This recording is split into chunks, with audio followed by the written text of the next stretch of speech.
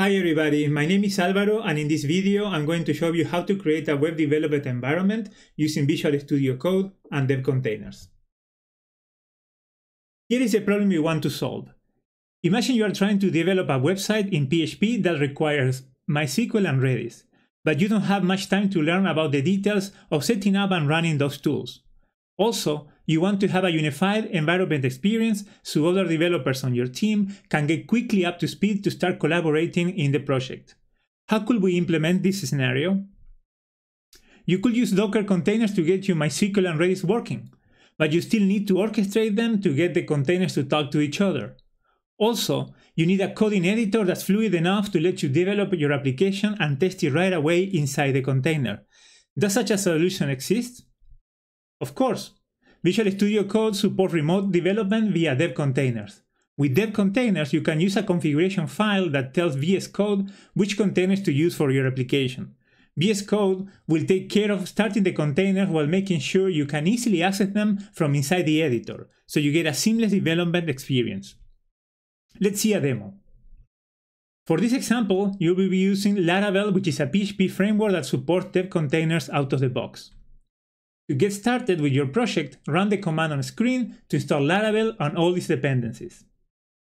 The command specifies that your application uses MySQL, Redis, and PHP, also that you want to use dev containers. Thanks to Laravel, you don't have to worry about installing any of these services. Laravel will configure these services automatically for you using Docker files. Now it's time to start working on your application. Run the command on the screen to open your new project inside Visual Studio Code. Now comes the cool part. VS Code notices that there's a dev container definition in your project, so it's showing you a prompt on the screen. Click Reopen in Container so VS Code will restart the project inside a container and automatically create the container environment for you. Also, it will set up the network connection so the services are reachable from your PHP application. Thanks to the magic of dev containers, you don't need to know about Docker or Docker Compose for this to work. Visual Studio Code takes care of that for you. How does it work? Laravel supports dev containers out of the box. When you created the project, Laravel created a Docker Compose file for you. The file includes definition for the MySQL and Redis services. It also adds a container that comes with PHP pre-installed. Laravel also created a dev container definition. Visual Studio Code detected that definition, identified the Docker Compose file, and instructed Docker to set up the development environment for you. Thanks to the mix of all this cool technology, you could get a de development environment up and running by typing just one command. What are the advantages of this approach?